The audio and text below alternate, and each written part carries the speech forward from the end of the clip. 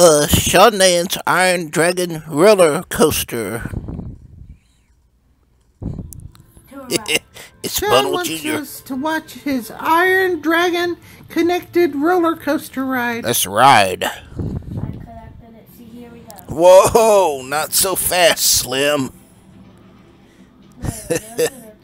I wouldn't pay full price for this. Whoa, thrill of a Oh, lifetime, wow, that was a thrill of a lifetime. I wish I was actually Whoa. in that. Oh, we bouncing you. Yeah. Yeah, I loved it.